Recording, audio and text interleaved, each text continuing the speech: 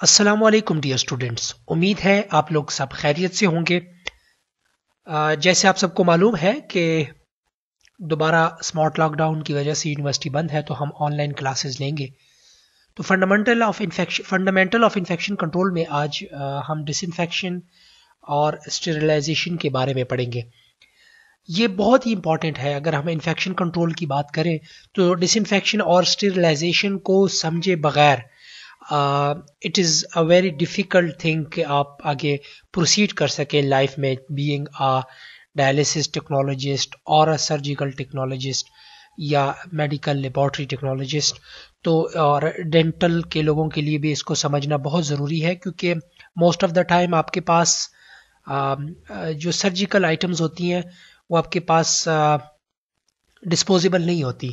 Sterile नहीं होती, या आपको उसको रिसाइकल करना पड़ता है तो उसके लिए कौन से डिसइनफेक्टेंट यूज़ करने हैं और कौन से स्टेरिलाइजेशन टेक्निक्स जो हैं वो यूज़ करने हैं, वो हम इनशाला इसमें देखेंगे डिफरेंट डिसइनफेक्टेंट्स वगैरह देखेंगे, और केमिकल मेथड देखेंगे हीट के जो मेथड्स हैं डिफरेंट्स वो हम देखेंगे, और फिर उसके मुताबिक आप डिसाइड कर सकेंगे कि फ्यूचर में जब आप प्रैक्टिकल काम करेंगे तो कौन सा मेथड आपके जो टेक्निक्स हैं या आपके जो इंस्ट्रूमेंट्स हैं उसके लिए वो सूट करता है।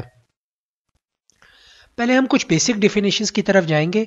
बेसिक डिफिनेशन में फ़र्स्ट ऑफ़ ऑल डिसइंफेक्शन है। डिसइंफेक्शन बेसिकली क्या है? दैट इज़ अ फ़िज़िकल और chemical means of killing microorganism but not necessarily spores इसमें हमारे पास मोस्ट ऑफ़ द जो आपके पास uh, जो भी माइक्रो ऑर्गेनिजम्स हैं, वो किल हो जाते हैं by using certain physical sources और certain chemicals but these are not enough to kill the spores और रिमूव द स्पोर्स ठीक है? तो हम उसको डिसइंफेक्शन कहते हैं।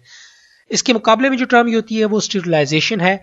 उसमें यह है कि वो कंप्लीट रिमूवल और killing of the microorganism by use or certain physical और केमिकल मींस इंक्लूडिंग स्पोर्स ठीक है? सो so ये एक डिफरेंस है डिसइंफेक्शन और स्टीरिलाइजेशन में। इसके अलावा टर्म यूज़ होती है एंटी माइक्रोबियल की। ये क्या है? That is an agent that kills microorganisms और suppresses their growth and multiplication ठीक है? तो ये क्या करता है कि किल uh, करता है और सप्रेस करता है या इसकी मल्टीप्लीकेशन को रोक लेता है स्पेशली माइक्रोबियल्स uh, इसको माइक्रोब्स को। ठीक है? तो it means कि it is not enough for complete sterilization, antimicrobial agent. अगर कंप्लीट स्टेरिलाइजेशन करेंगे तो फिर हम उसकी कंसंट्रेशन पे जाएँगे कि एंटीमाइक्रोबियल एजेंट जो है, कितना कंसंट्रेटेड है और कंटैक्ट टाइम देखेंगे, ठीक है? ये हम आगे थोड़ा सा डिटेल में भी डिस्कस करेंगे जब हम डिफरेंट डिसइनफेक्टेंट्स वगैरह स्टडी करेंगे।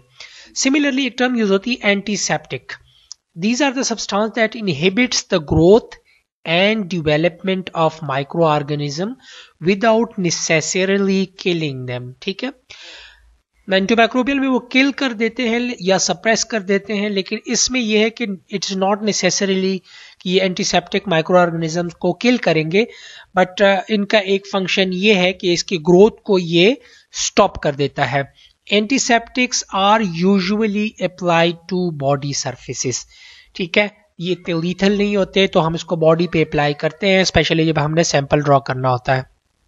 इसके अलावा biocide these are a general term of any agent that kills the organisms chemical germicide क्या है? दीज आर अ केमिकल और a mixture of chemical used to kill microorganisms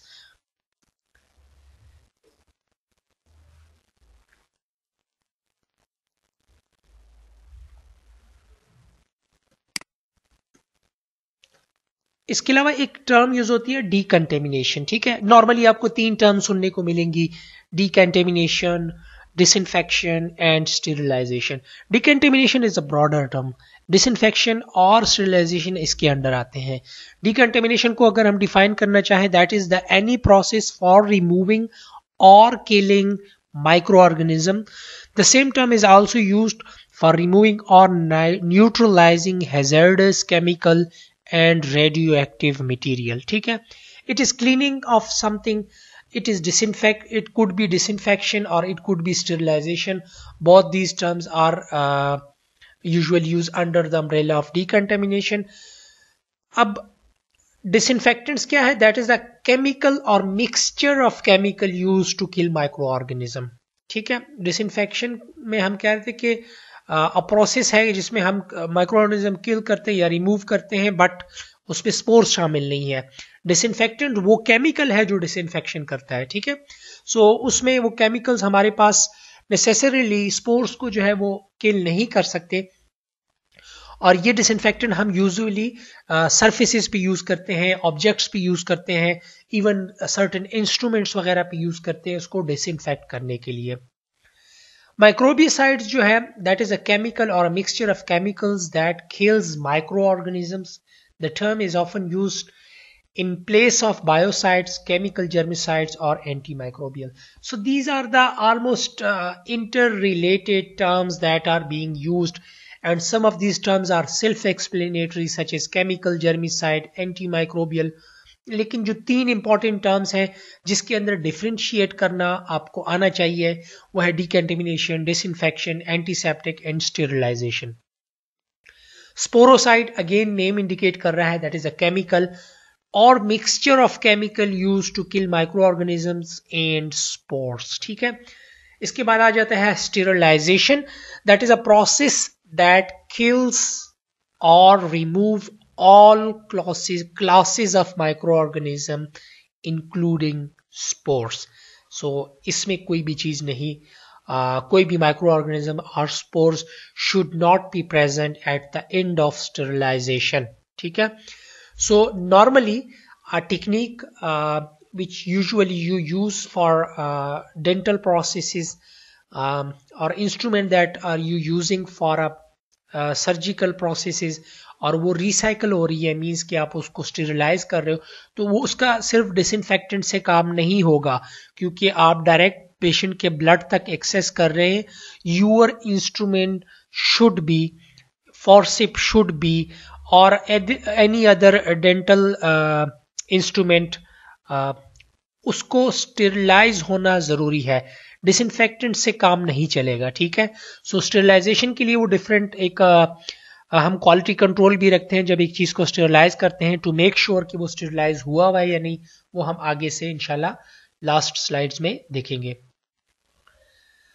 अब लेबोरेटरी के अंदर काम करते हुए, अब लेबोरेटरी का जहाँ मैं लफ्ज यूज़ कर रहा हूँ तो आप लेबोरेटरी से मुराद ये है कि आपका डायलिसिस सेंटर हो गया, या आपका सर्जिकल जहाँ पे आप लोग वोन्स क्लीनिंग वगैरह कर रहे होते हैं, या आपका डेंटल क्लिनिक हो गया, आपने इससे यही मुराद लेना है, ठीक है? तो अगर अपने उसकी क्लीनिंग करनी है तो क्लीनिंग के लिए आपको पहले क्या करना होगा कि रिमूव द डर्ट फिजिकली ठीक है? जब आप फिजिकली रिमूव नहीं करेंगे और डिसइनफेक्टेंट अप्लाई करेंगे तो वो उतना जो है यूजफुल नहीं होगा, ठीक है? और दूसरा ये कि ऑर्गेनिक मैटर और स्टेन्स अगर कोई फ्लोर्स पर मौजूद है या टेबल टॉप्स पे मौजूद है, आप उसको फिजिकली रिमूव करेंगे क्लीनिंग में आपके पास पहले क्या आता है? Brushing vacuuming dry dusting washing और damp mopping with water containing a soap और डिटर्जेंट पहले आप फ़िज़िकल क्लीनिंग क्यों करेंगे? क्योंकि अगर ये डर्ट सॉइल ऑर्गेनिक मैटर जो है वो मौजूद रहे सरफेस पे या टेबल टॉप्स पे तो मसला यही होगा कि आप बेशक उसमें डिसइनफेक्टेंट अप्लाई कर भी दें तो वो ऑर्गेनिक मैटर्स की वजह से या कुछ जो फ़िज़िकल उसके ऊपर गंद पड़ा होगा, उससे वो, उसकी एफिकेसी उतनी नहीं रहेगी। डिसइनफेक्टेंट की एफिकेसी नहीं रहेगी, वो प्रॉपरली डीकंटेमिनेट नहीं करेगा। जो नॉर्मली आप 10 मिनट का कंटेक्ट टाइम दे रहे हो तो वो 10 मिनट का कंटेक्ट टाइम जो है वो इनफ नहीं होगा। ठीक है? उसके नीचे की जो सरफेस होगी, वो डिकंटेमिनेट नहीं होगी, अगर कोई फिजिकली कोई गंद वहाँ पे पड़ा हुआ है। इसके बाद बारी आ जाती केमिकल जर्मिसाइड्स की। The germicidal activity of many chemical is faster in better at higher temperature ठीक है? Particular care is needed in the use and storage of such chemical in tropical region where their shelf life may be reduced because of high ambient temperature. अब chemicals germicidal activity उसके बढ़ाने के लिए आपको temperature का भी ख्याल रखना चाहिए। उसको ऑप्टिमम टेम्परेचर पे यूज़ करना है। दूसरा ये कि अगर आप कोई वर्किंग रीजन बना लेते हैं, यानी आप लैब्स में काम कर रहे हैं या डेंटल क्लिनिक में, अब ज़ाहिर है आप डेली तो आके अपने लिए डिसइनफेक्टेंट फ्रेश नहीं बनाते, अक्सर इतना टाइम नहीं होता। तो नॉर्मली आपके पास ये जो होता है, आप वर्किंग रीजन बना लेते हैं और फिर रख लेते हैं। अब उस दौरान आपने ये ख्याल रखना है कि आपका अराउंड टेम्परेचर कितना है। हमारे यहाँ समर्स में टेम्परेचर जो है 45 डिग्री सेल्सियस तक चला जाता है। उससे क्या हो जाता है? शेल्फ लाइफ आपकी जर्मिसाइडल एक्टिविटी जो इसकी है वो रिड्यूस हो जाती है। तो आपको क्या करना होगा? उसके टेम्परेचर का ख्याल रखना होगा। जब आप इसको यूज़ कर रहे हैं आप किस टेम्परेचर पे यूज़ करें इन चीज़ों का आपको ख्याल रखना होगा। रिमेंबर हाई टेम्परेचर से ये एफिकेसी जो है वो लूज कर देगा। Many germicides can be harmful to human or the environment. They should be selected, stored, handled, used and disposed of with care following manufacturer instructions. Remember please please please जब भी आपके पास कोई chemical आता है, उसके instructions को पढ़ लीजिएगा पढ़ लीजिए करें क्योंकि आप उसको, आपको नहीं पता होता कि वो कैसे बिहेव कर रहा है हाई टेम्परेचर पे फ्लेम के करीब वो क्या इफ़ेक्ट कर रहा है, उसके फ्यूम्स आपको कितने नुकसानदेह हो सकते हैं, उसको स्टोर किस टेम्परेचर पे करना है डार्क में करना है या लाइट में उसकी इफिकेसी खत्म हो रही है तो इन सब चीज़ों के लिए आपको उसको पढ़ना ज़रूरी है स्पेशली टूवर्ड्स ह्यूमन नेचर की उसको ह्यूमन के साथ उसके क्या इंटरेक्शन हो तो क्या क्या वो उसमें मसाइल खड़े कर सकता है, ठीक है? और स्पेशली उसके ऊपर जो लेबल्स लगे होते हैं, वो लेबल्स प्रोमिनेंट लगाए ही इसीलिए होते हैं कि पहली नज़र में आपको पता चल जाए कि ये हेजर्डस है, ये टॉक्सिक है, ये लीथल है तो वो साइन एंड सिंबल्स का भी आपको पता होना चाहिए। For personal safety gloves aprons and eye protection are recommended this is the basic standard protocols आपको हर हाल में ये फॉलो करने होंगे. When preparing dilution of chemical germicides ठीक है? जब आप ये खास करके जब आप इसको ओपन करते हो, ज़ाहिर है हम नॉर्मली एब्सोल्यूट केमिकल नहीं यूज़ करते, यानी 100 परसेंट एल कहीं 27 परसेंट एल या वो कहीं नहीं यूज़ होता या एच टू नहीं होता, हम उसको डाइल्यूट करते हैं। तो ज़ाहिर है डाइल्यूट करते हुए जब आप कंसनट्रेटेड केमिकल्स को उठाओगे और उसको डिस्टिल वाटर में ऐड करोगे तो उस वक्त आपको पीपीईज पहनने होनी ज़रूरी है। अगर वो ज़्यादा टॉक्सिक है तो आप उसको फ्यूम हुड में रख के यूज़ करेंगे। वो तो इसके लिए आप क्या करना होगा? आ, उसके लिए जो आपको डाइल्यूशंस बनानी होगी आ, उसमें आपको इस टेबल में हमें दी आपको मैं आगे दिखा दूँगा जो वेट बाय वॉल्यूम आपने क्या डाइल्यूशंस बनानी है और उसमें क्लोरीन रिलीजिंग कंपाउंड कितना होगा। बेसिकली जितना क्लोरीन रिलीजिंग कंपाउंड उसमें ज़्यादा होगा उतनी ही आपके पास जो है उसकी एफिकेसी ज़्यादा होगी। तो क्लीन कंडीशंस हमारे पास है ठीक है? क्लीन्स कंडीशंस में रिकमेंडेड डाइल्यूशन कितनी आपकी होनी चाहिए और डर्टी कंडीशन में ठीक है? डर्टी कंडीशन क्लीन कंडीशन जो है वो मैटर करता है पर्सन टू पर्सन और लैब्स टू लैब्स में भी कुछ लोगों के सामने uh, जो क्लीन की डेफिनेशन है वो डिफरेंट हो और कुछ लोगों के सामने डिफरेंट हो ठीक है?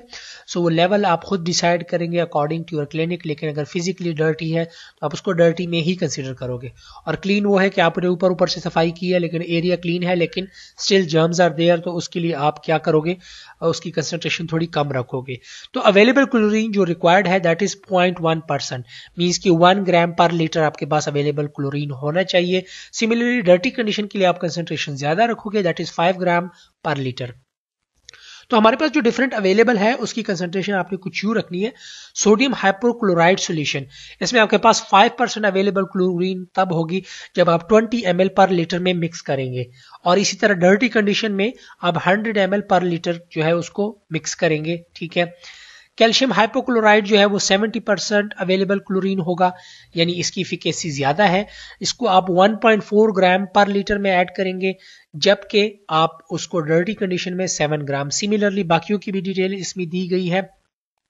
क्लोरामीन कंपाउंड जो है, उसकी सबसे ज़्यादा एफिकेसी जो 25 परसेंट शो हो रही है, ठीक है? और ये 20 ग्राम पर लीटर क्लीन कंडीशन में हम यूज़ करते हैं और जो है डर्टी कंडीशन में भी हम 20 ग्राम पर लीटर यूज़ करते हैं, ठीक है? आगे हम इसको जो है इंडिविजुअली भी ये केमिकल स्टडी करेंगे तो उसमें ये डिटेल आ जाएगी। तो कहने का मकसद सिर्फ़ ये है कि आपने क्लोरीन की कंसेंट्रेशन जो है अकॉर्डिंग टू द कंडीशंस रखनी है क्लीन कंडीशन है या डर्टी कंडीशन है। अब अगर हम सोडियम हाइपोक्लोराइड यूज़ कर रहे हैं, ठीक है? तो उसमें क्लोरीन की कंसेंट्रेशन जो है एक्चुअली हमें क्लोरीन ही चाहिए होता है जो कि आपको बेस्ट रिज़ल्ट दे और डिसइंफेक्शन कर सके। क्लोरीन क्या है? It is a fast acting oxidant it is widely available in broad spectrum chemical germicide जिसको हम मल्टीपर्पज के लिए यूज़ करते हैं। Chlorine specially as bleach is highly alkaline and can be corrosive to metal अब क्या है? अगर if it is corrosive to metal it means you will never use it on the metal ठीक है? Its activity is considerably reduced by organic matter proteins यानी अगर आपसे कोई स्पिल हो गया है सीरम सीरम ब्लड गिर गया तो ब्लड में आपके पास प्रोटीन्स कंपाउंड होंगे। ठीक है? या आप किसी टिश्यू को डील कर रहे हैं और वो टिश्यू रेजिड्यूज आपके टेबल टॉप पे रह गए तो आप डिसइंफेक्ट करना चाह रहे हैं तो क्लोरीन से उसकी की इफिकेसी जो है निस्बतन जो है वो रिड्यूस होगी ऑर्गेनिक इन मैटर से या जो भी आपका uh, वहाँ पे प्रोटीन्स uh, लगी हैं तो आपको क्या करना होगा इसके कंटेक्ट टाइम बढ़ा लेंगे और साथ ही थोड़ा सा इसकी कंसंट्रेशन बढ़ाएँगे और फिर आप यूज़ करेंगे Storage or of stock or working solution of bleach in open container, partic particularly at high temperature, releases chlorine gas, thus weakening the germicide potential. So it's general rule कि आप जब भी कोई चीज़ रखेंगे स्पेशली केमिकल्स रिलेटेड तो आप उसको एयर टाइट कंटेनर में रखेंगे और उसको प्रॉपर सील या बंद करेंगे ताकि उसमें से फ्यूम्स बाहर ना जा सके। स्पेशली इस केस में तो क्लोरीन गैस उसमें से बाहर निकलता है, जो वैसे भी आपके लिए हेजर्डस हो सकता है। और सेकंड इंपॉर्टेंट थिंग इज़ कि आपने पूरा ओवरनाइट रख लिया ओपन और सुबह आप ये एक्सपेक्ट कर रहे हैं कि इसकी इफिकेसी वैसी ही होगी, ऐसा हरगिज नहीं होगा। उसकी आपकी दिल को तो तसली दे सकते हैं कि मैंने क्लीनिंग कर लिया डिसइनफेक्टेंट लेकिन ओवरऑल वो आपके लिए सिचुएशन आपकी फेवर में नहीं जाएगी और आप इन्फेक्शन एक्वायर कर सकते हैं। तो इसको हम general all purpose laboratory disinfectants भी कहते हैं और इसकी कंसंट्रेशन वन ग्राम पर लीटर अवेलेबल क्लोरीन है। अगर हमें स्ट्रॉगर सोल्यूशन बनाना है मींस कि हमारे पास जो है बहुत डर्टी कंडीशंस है तो हम 5 ग्राम पर लीटर अवेलेबल क्लोरीन यूज़ करेंगे और ये रिकमेंडेड भी है। जब हम किसी स्पेलेज या बहुत ज़्यादा ऑर्गेनिक मैटर जो है, वो पड़ा हुआ है तो उसको हमने साफ़ करना है तो हम 5 ग्राम पर लीटर क्लोरीन यूज़ करेंगे। जब इमरजेंसी की बात आती है तो इमरजेंसीज में हम ब्लीच को as a disinfectant for drink use to disinfect water for drinking तो इमरजेंसी में हम ब्लीच को ड्रिंकिंग वाटर में भी ऐड कर सकते हैं यूज़ कर सकते हैं जब आपके पास कोई और सोर्स नहीं हो। लेकिन उसमें कंसेंट्रेशन आपके पास वन से two milligram per litre available chlorine से ज़्यादा नहीं होनी चाहिए। क्लोरीन गैस क्या है? बहुत ज़्यादा हाईली टॉक्सिक है। So bleach must therefore be store and use in well ventilated area only also bleach must not be mixed with acid to prevent the rapid release of chlorine gas तो आप इसको किसी बंद जगह पे ऐसे नहीं यूज़ करेंगे। वेल वेंटिलेटेड एरिया होनी चाहिए डोर्स ओपन होनी चाहिए और सेकेंडली कोई एसिड के साथ उसको ऐड करके यूज़ नहीं करना क्योंकि वो अबरप्टली सारी क्लोरीन गैस उसमें से रिलीज़ होगी तो वो आपको डैमेज काज कर सकती है।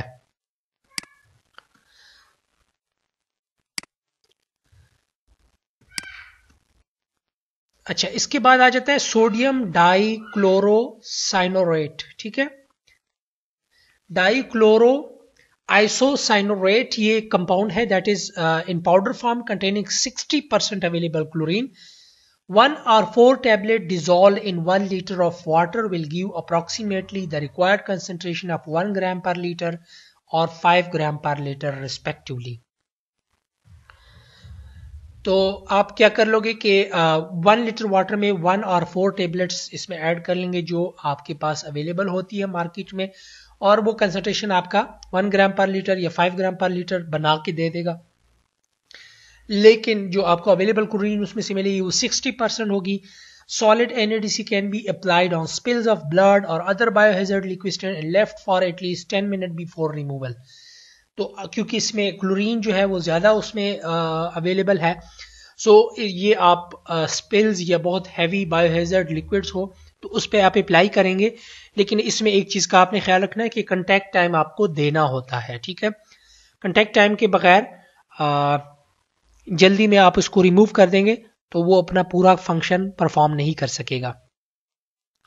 Chloramines these are available as powder containing about 25 available percent available chlorine chloramine release chlorine at a slower rate than hypochlorite so ये अब्रप्टली क्लोरीन रिलीज़ नहीं करता।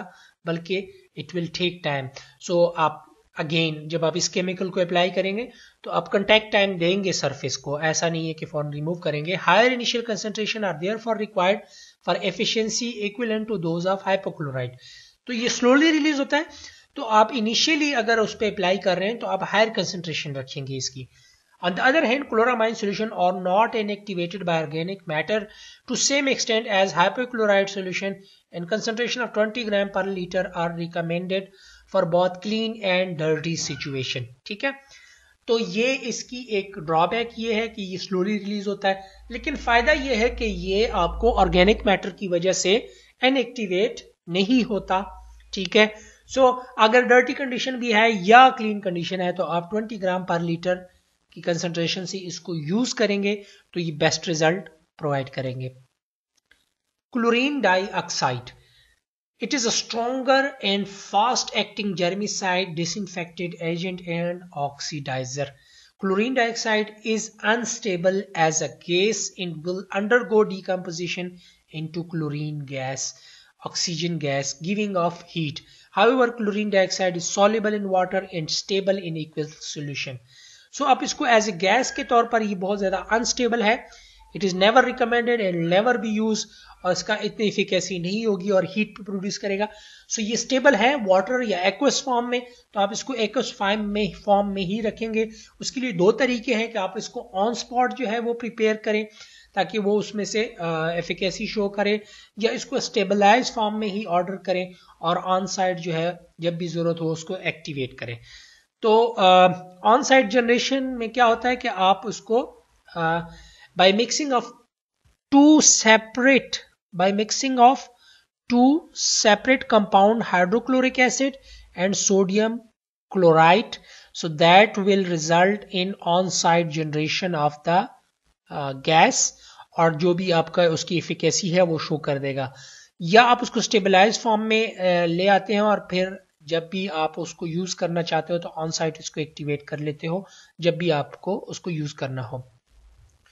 फॉर्मल बहुत ज़्यादा एक्सटेंसिवली यूज़ होता है और यूज़ होता चला आ रहा है लेकिन आजकल कुछ कार्सिनोजेनिक इफेक्ट्स की वजह से इसको थोड़ा सा इसकी यूजेज को मिनिमाइज कर दिया गया है लेकिन स्टिल लेबोरेटरी में प्रैक्टिस में है ये।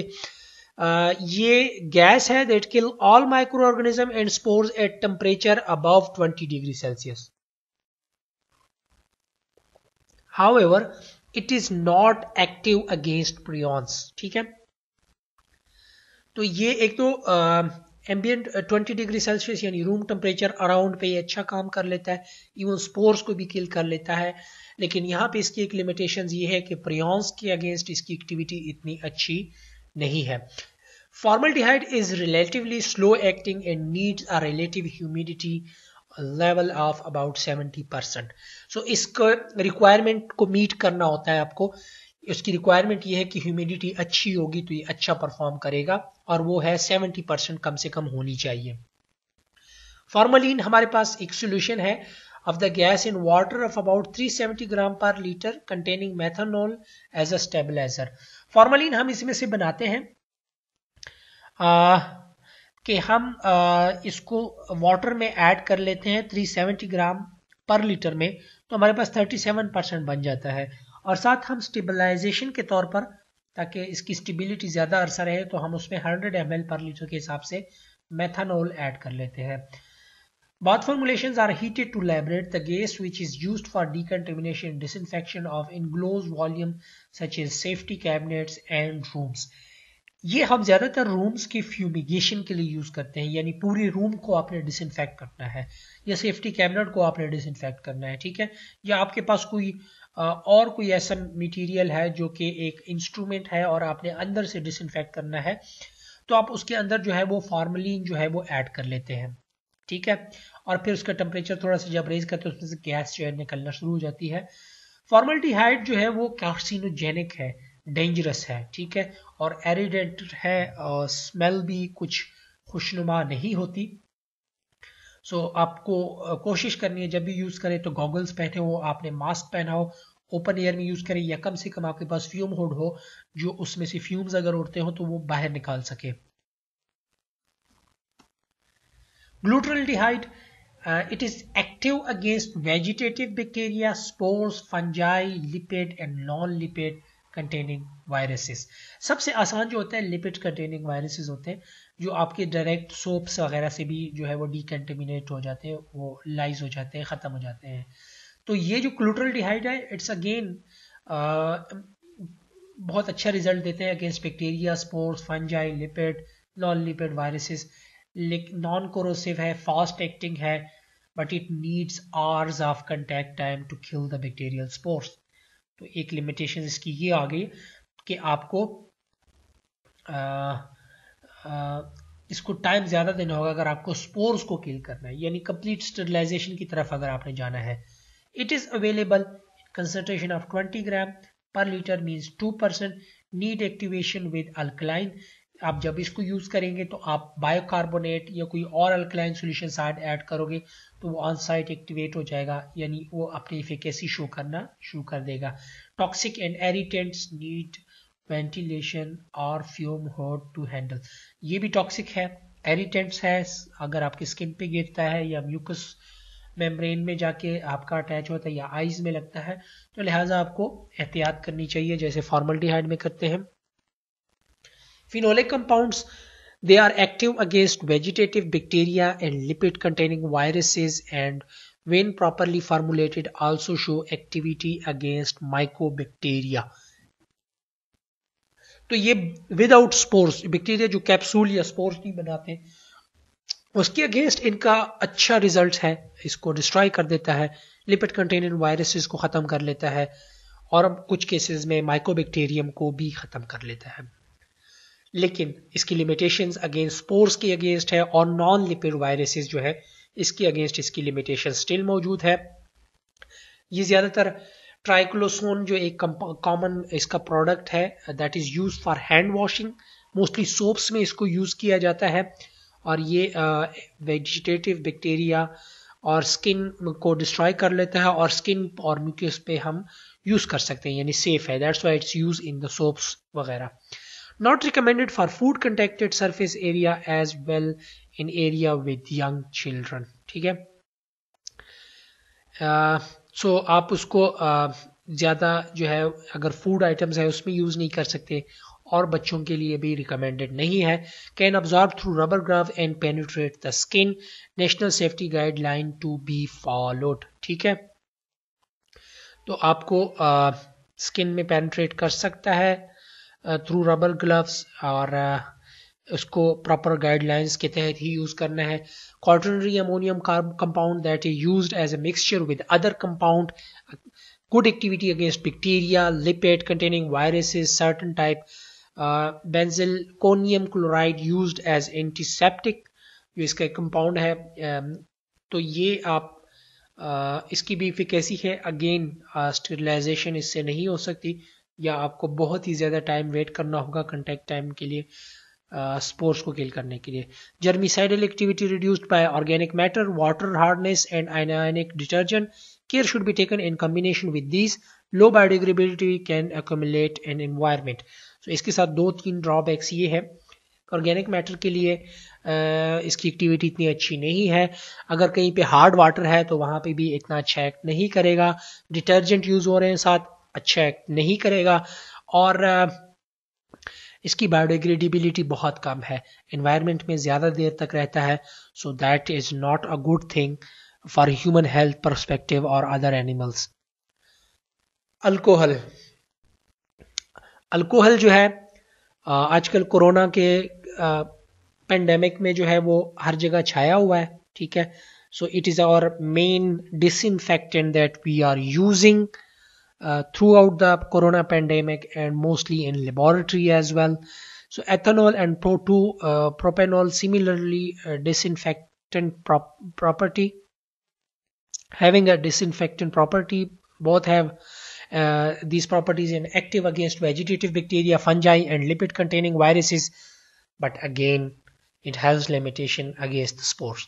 70% volume by volume is highly effective तो जैसे आप सबको पता है, कोरोना में भी हम 70 परसेंट मिनिमम रिक्वायरमेंट हम कह रहे हैं कि होना चाहिए 60 to 70 percent. Surface area laboratory benches bio safety cabinet और सर्जिकल इंस्ट्रूमेंट को हम इसके अंदर सोक कर सकते हैं। Mixture with formaldehyde gives best results bottles with alcohol containing solution must be clearly labeled to avoid autoclaving तो आप क्या करोगे? अल्कोहल कंटेनिंग सॉल्यूशंस को ऑटोक्लेव कभी नहीं करोगे। It's a dangerous fumes उड़ेंगे that can burst inside it alcohol को आप रबर रबर को हार्ड कर देता है और dissolve certain type of glue तो ये आपने ख्याल रखना है।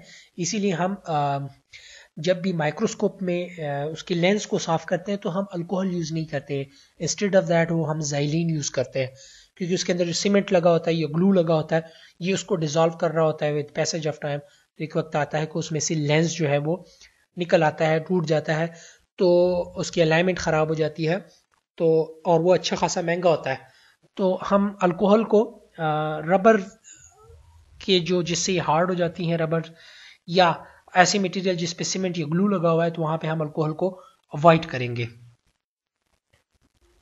आयोडीन एंड आइडोफोर्स बहुत ज़्यादा यूज़ हो रही है। हम जब एंटी माइक्रोबियल कोई कल्चर सी एस के लिए सैंपल लेते हैं तो पायोडीन यूज़ करते हैं स्किन के ऊपर। सर्जिकल वाले से ज़्यादा अच्छा बेहतर आयोडीन को कौन जाँच सकता है?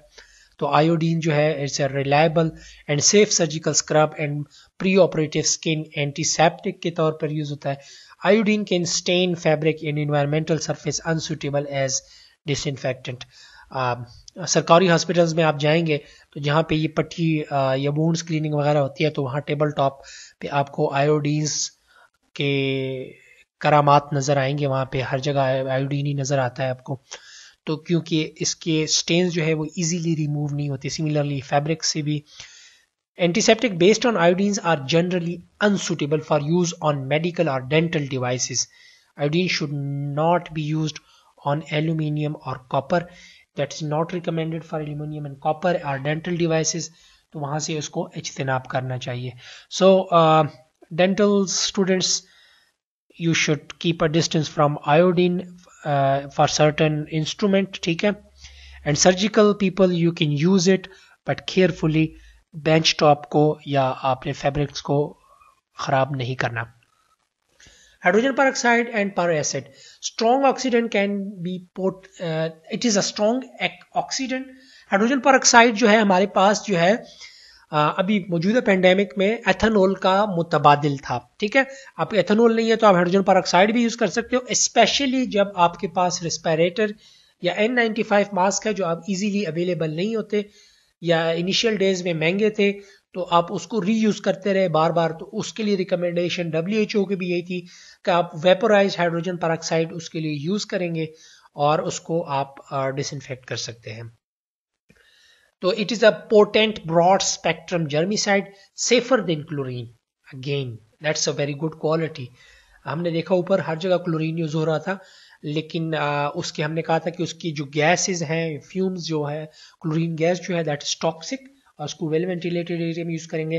So it is safer than chlorine hydrogen oxide can be use for decontamination of work surface of laboratory benches biosafety cabinets and stronger solution में be suitable for disinfecting heat sensitive medical dental devices so it means कि hydrogen peroxide is for dental people dental students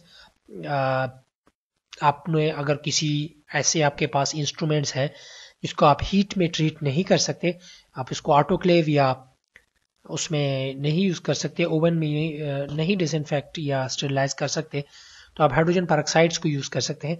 similarly biosafety cabinets वगैरह के लिए भी हम इसको use करते हैं। Mostly three percent use if stronger then must be diluted तो हम थ्री परसेंट यूज़ करते हैं, लेकिन हम इसको एडजस्ट कर सकते हैं अपनी रिक्वायरमेंट के मुताबिक। Hydrogen Hydrogen peroxide and peracids can be corrosive to metal such as aluminium. So it should be avoided in that case.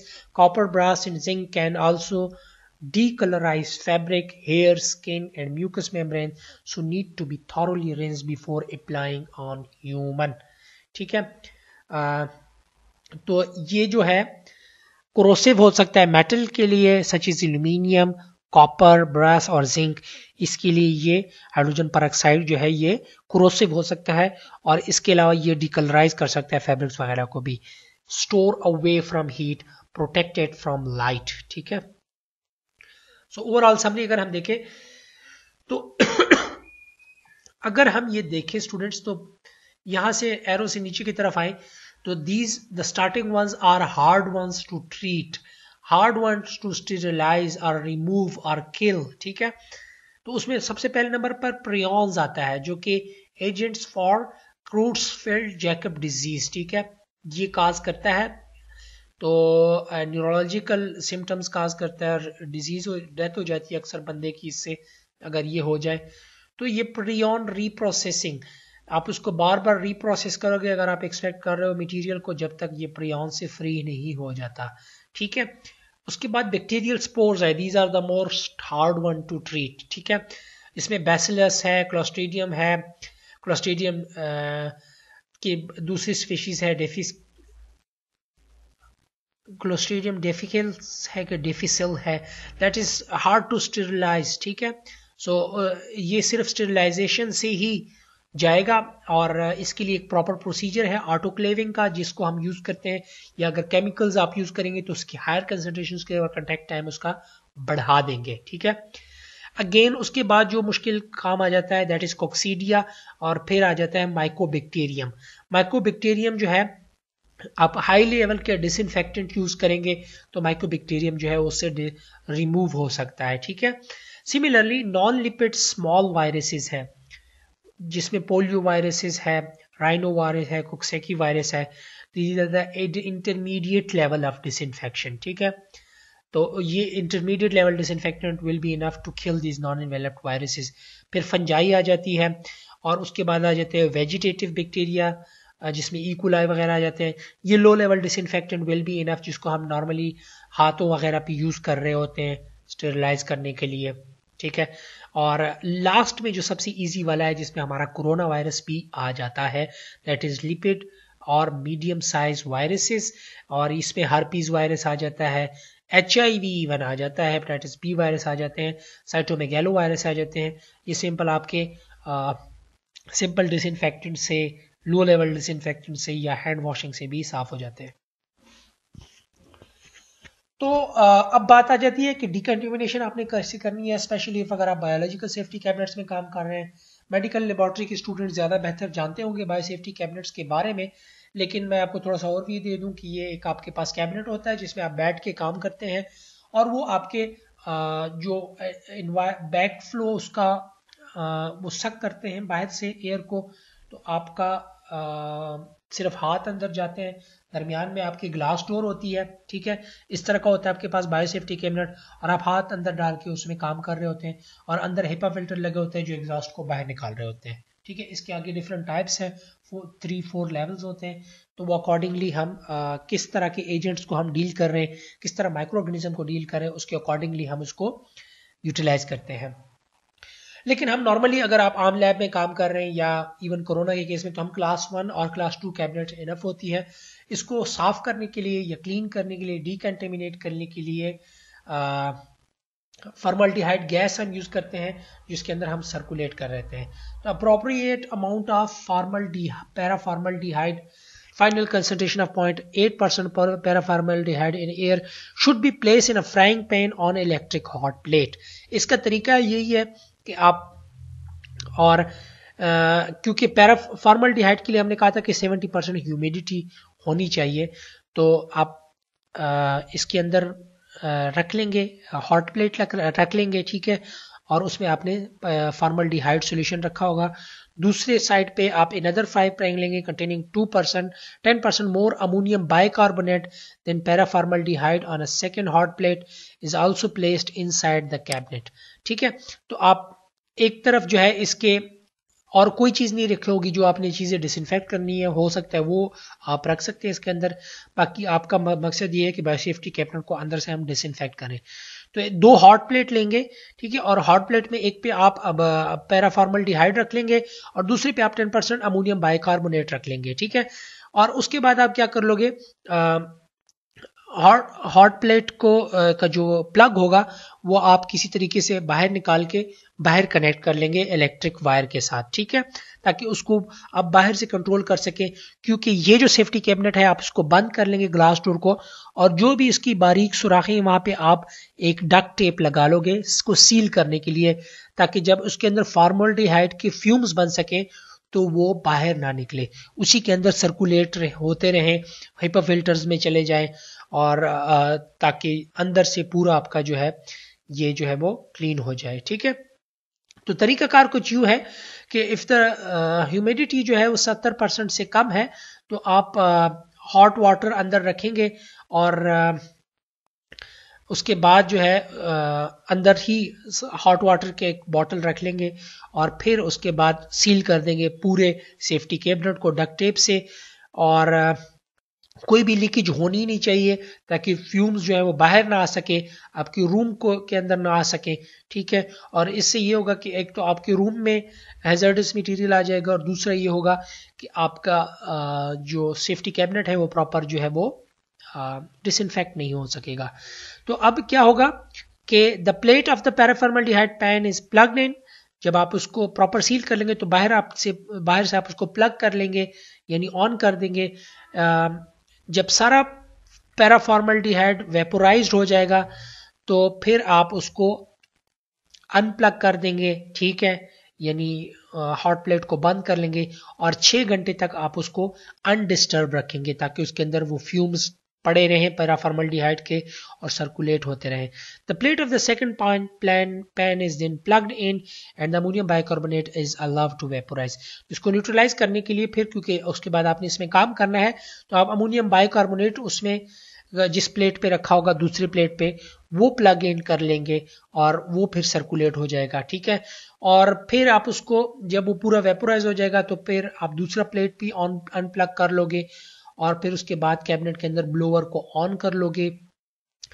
For approximately two second each to allow ammonium bicarbonate gas to circulate तो final जो bicarbonate की gas ammonium bicarbonate gas होगी, ताकि वो properly circulate हो जाए और हर जगह पहुँच जाए उसके लिए आप ब्लोअर को ऑन कर लोगे। The cabinet should be left undisturb for 30 minute before the front closure और plastic sheeting and the exhaust port sheeting are remove जो भी आप डक टेप्स लगाई हैं, जो सील करने के लिए जो भी मटेरियल आपने लगाया है, उसको रिमूव करने से पहले आप उसको 30 मिनट टाइम देंगे ताकि प्रॉपर अपना काम कर सके और जो भी उसका फ्यूम्स वगैरह वो ख़त्म हो चुके हों, ठीक है? The cabinet surface should be wipe down to remove residue before use तो आप कैबिनेट सरफेस को वाइप करेंगे, साफ़ करेंगे जब रेजिट्यू को रिमूव करने से पहले ठीक है? साथ ये वीडियो दी गई है स्टूडेंट्स ये लिंक दिया गया है। ये जो मैंने प्रोसेस बताया है आ, क्योंकि फिजिकली पॉसिबल नहीं है क्लास लेना तो मे बी कुछ चीज़ लोगों को समझ ना आ गया हो। तो ये ये वीडियो आप देख लें इसमें पूरा डिकंटेमिनेशन का प्रोसेस दिखाया गया है। अब डिसइंफेक्शन और स्टेलाइजेशन हीट के साथ हम कैसे कर सकते हैं? हमारे पास दो मेथड हैं ड्राई हीट है और मॉइस्ट हीट है। रिमेंबर हर एक की अपनी एफिकेसी है लेकिन अगर आपने स्पोर्स को किल करना है तो you should go and prefer for moist heat method ठीक है?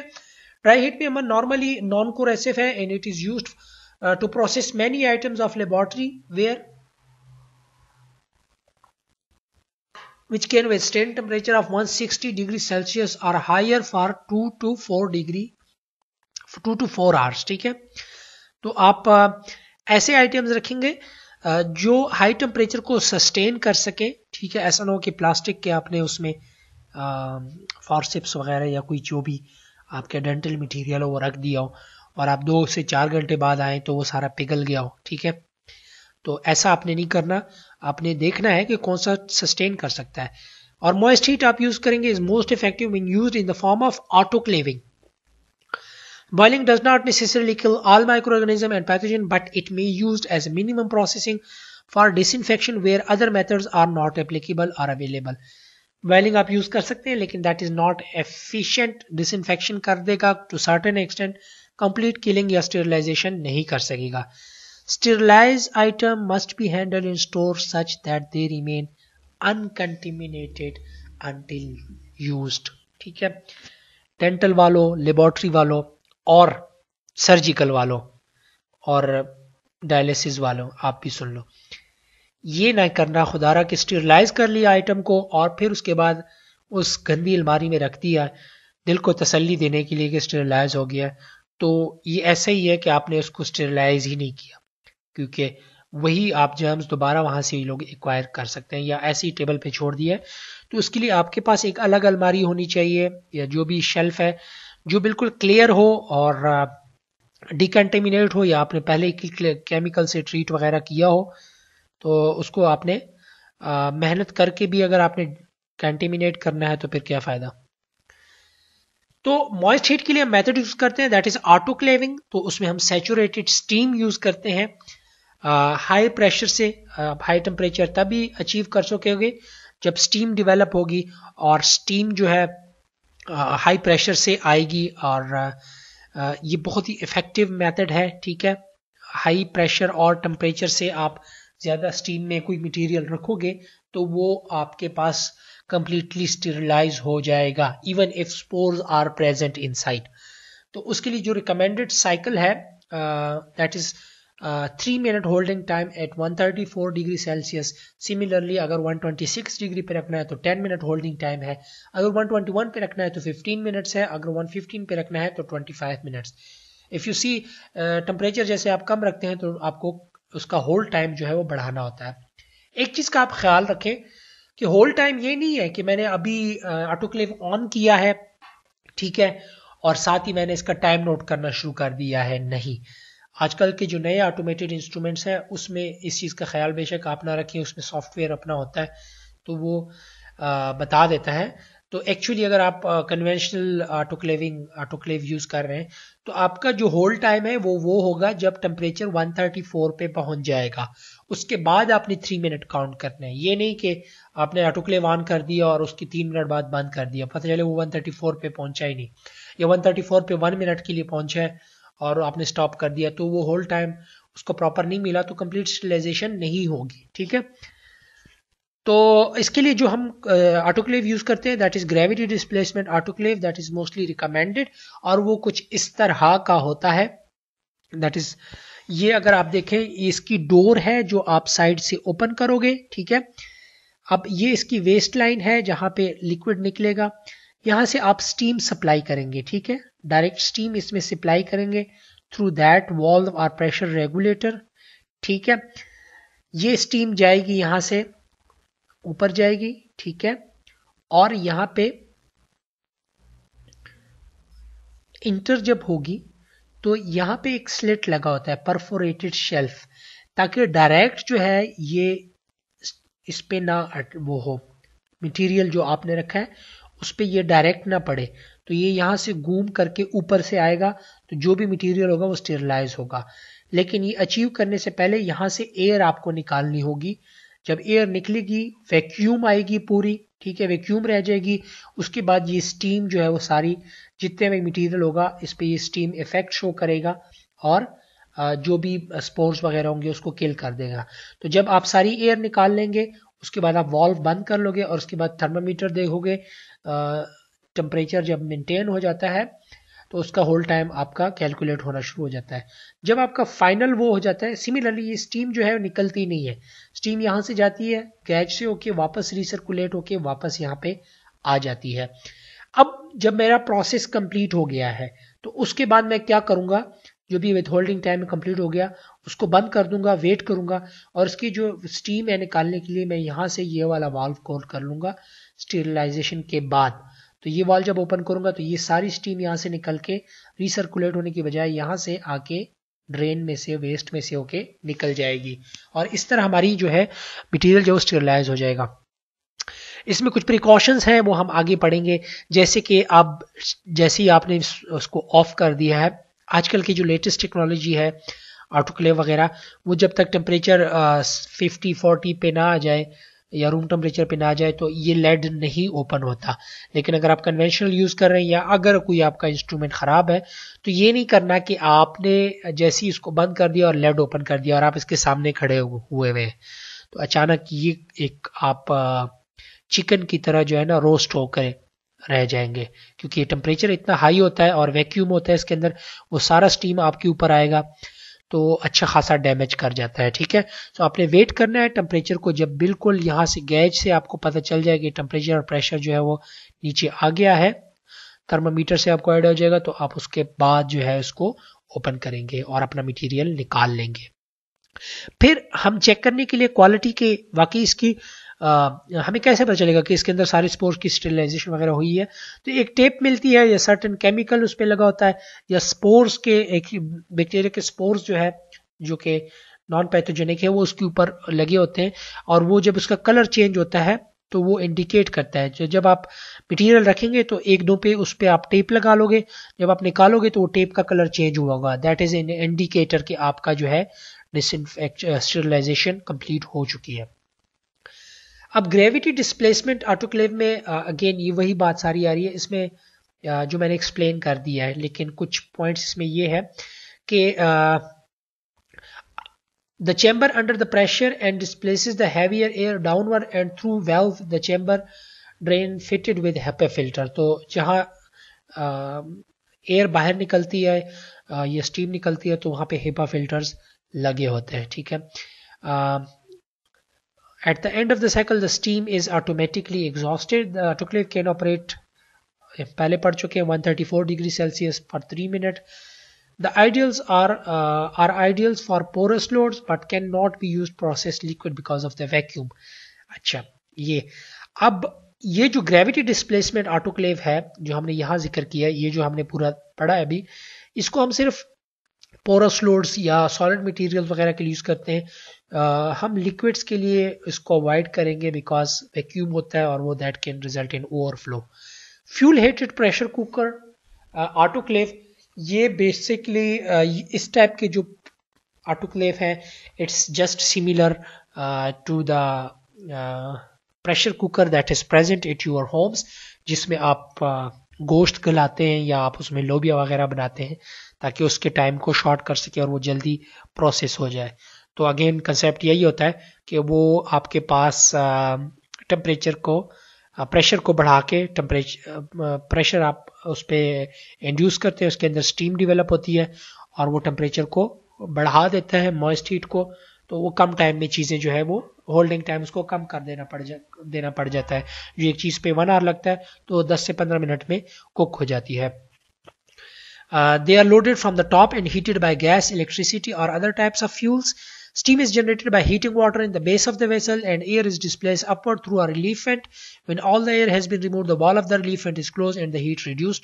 The pressure and temperature raised until the safety valve operate at the preset level.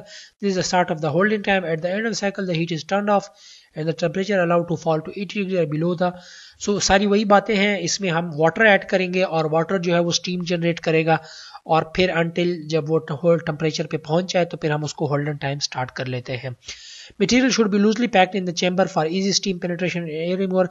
Make should allow the steam to reach their contents.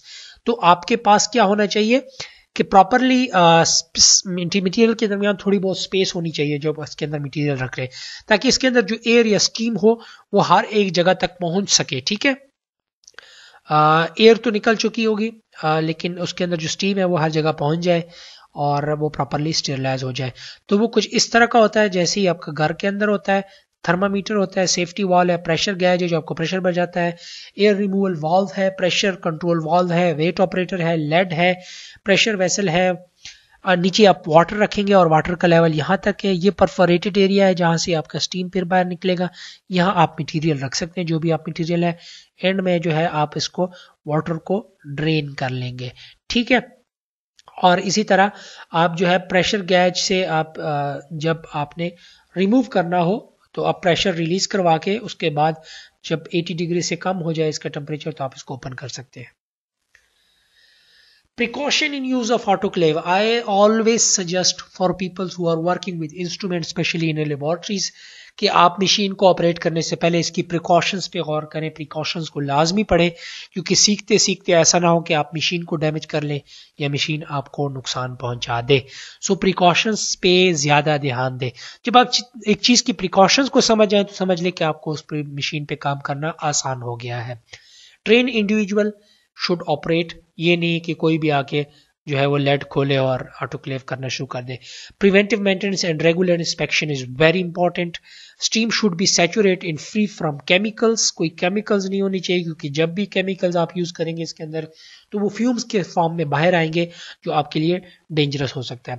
Material should be in proper container to allow heat and air to penetrate and should be loosely placed material के अंदर space होना चाहिए थोड़ा सा ताकि वो उसमें steam पहुँच सके। और दूसरी बात यह है कि प्रॉपर कंटेनर में होनी चाहिए। If not interlocking safety device attach then door should not be open until temperature below 80 degree Celsius वही बात है। टेम्परेचर डाउन ना हुआ हो तब तक आप उसको ना खोलिएगा। और खोलते हुए जब आपको श्योर भी हो जाए कि 80 से टेम्परेचर कम है गेज में खराबी भी आ सकती है। तो आप उसके बैक साइड से खड़े होकर उसके डोर को ओपन करेंगे। ये सामने नहीं आएँगे कि ऐसे, जैसे बर्तन से घरों में आपने ऑटोक्लेव सॉरी प्रेशर कुकर रखा है या देखचा है और आप ऐसे उसका लेड उठाते हो और ऊपर सर ऐसे रखते हो तो सारा स्टीम आपके मुँह पे आ जाता है। तो वो तो इतना टेम्परेचर खैर नहीं होता, लेकिन जब ऑटोक्लेव के केस में होगा तो वो आप अच्छा खासा जो है आपका चेहरा बिगाड़ देगा। Slow exhaust setting should be use when autoclaving liquid as they may boil over when remove due to super heating तो आप स्लो एग्जॉस्ट उस पर आप मेंटेन रखोगे बिकॉज़ uh, अगर आप कोई लिक्विड को डील कर रहे हैं तो ओवर हीटिंग से बॉयल कर सकता है। Operator must use suitable gloves and visor operator को चाहिए कि ग्लव्स यूज़ करे, जब मटेरियल निकाले और वाइजर रखा हो ताकि डायरेक्ट आँखों में फ्यूम्स ना जा सके।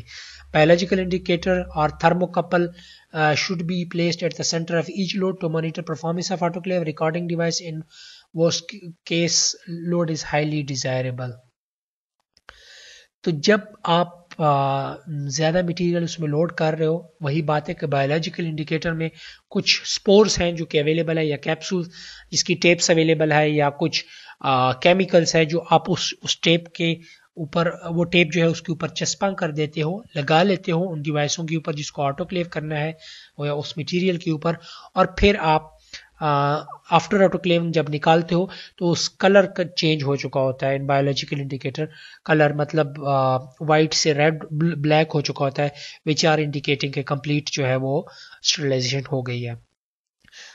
The drain screen filters of the chamber available should be removed in clean daily आप उसको ड्रेन uh, जो भी वॉल्स वगैरह हैं उसको आप क्लीन करते रहोगे टाइम टू टाइम क्योंकि वाटर में uh, जब ड्रेन में जाता है तो वाटर जब बार बार उसमें जाता है तो वो क्या कर लेता है, उस पर डिपॉजिट आ जाता है कैल्शियम या बाकी मटेरियल का कार्बोनेट्स वगैरह का वाटर में जो मौजूद होते हैं तो वो कार्बोनेट्स का एक लेयर आ जाती है घरों में, अगर आपने कहीं पे देखा हो, जहाँ पानी ज़्यादा देर खड़ा रहता है तो उसको जंग लग जाता है, या कार्बोनेट्स की एक लेयर जमा हो जाती है।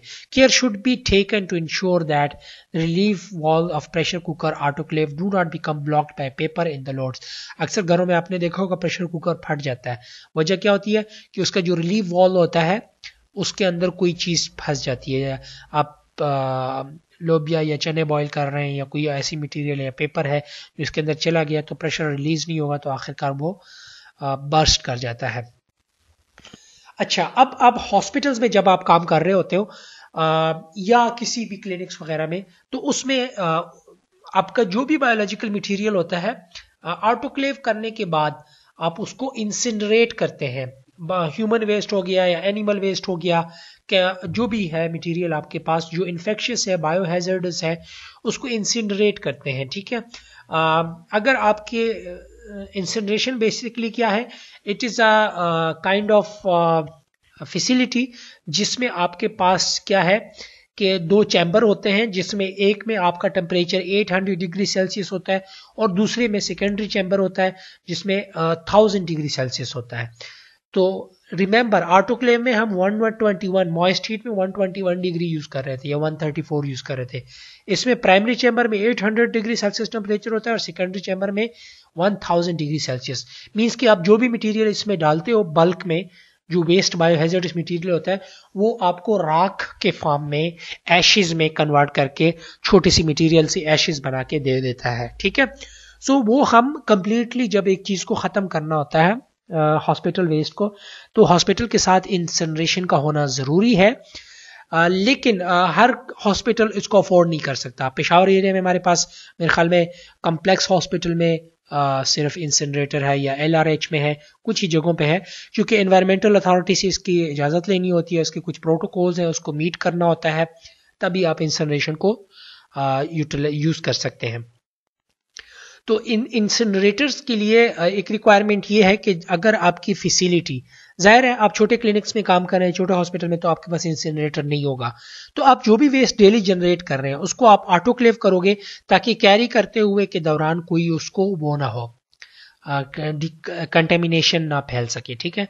जैसे कोरोना के केस में है तो कोरोना की वेस्ट को आप डायरेक्ट जो है, अगर किसी और फैसिलिटी में दूर लेके जा रहे हो इंसनरेशन के लिए तो आप उसको पहले ऑटोक्लेव करना ज़रूरी है, ठीक है? उसको डिकंटेमिनेट करना ज़रूरी है। या केमिकल से ट्रीट करो या उसको ऑटोक्लेव कर लो, लेकिन ऑटोक्लेव इज़ बेस्ट ऑप्शन ठीक है? तो उसके बाद आप उस इन्फेक्शन इंसनरेशन में लेके जाओगे। इंसनरेशन बेसिकली क्या है? Incineration of infection material in alternative to autoclaving only if the incinerator is under laboratory control ठीक है? प्रॉपर लेबोरेटरी कंट्रोल में होना चाहिए जो इसकी क्योंकि इतना हाई टेम्परेचर मेंटेन रखना, उसको कंट्रोल रख, रखना बहुत ज़रूरी है। और फिर मेक श्योर करना कि सारा मटेरियल प्रॉपरली जो है वो डिसइनफेक्ट हो गया है, ख़त्म हो गया Proper incineration require an efficient mean of temperature control and secondary burning chamber. There are many satisfactory configuration for combustion chamber. Ideally, the temperature in the primary chamber should be at least 80 degrees 800 Celsius and that in secondary chamber at least 1000 Celsius.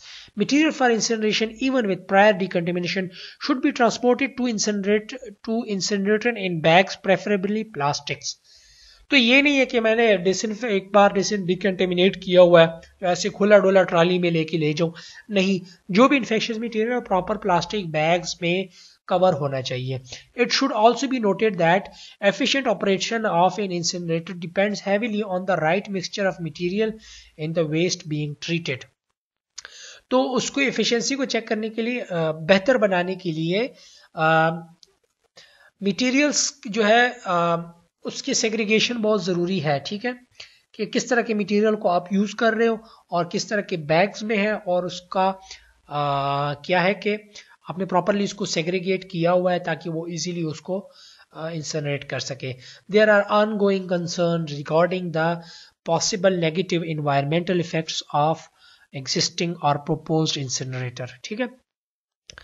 तो environmental effects उसकी बहुत negative है, क्योंकि सारा जो है आपका, उसका जो है, धुआँ है वो ऊपर इन्वायरमेंट में ही जाता है। तो उसके लिए ज़रूरी है कि आप इन्वायरमेंटल प्रोटेक्शन जो भी आपकी लोकल है या इंटरनेशनल फार्म्स है, उसको इजाज़त लेना उससे ज़रूरी होता है।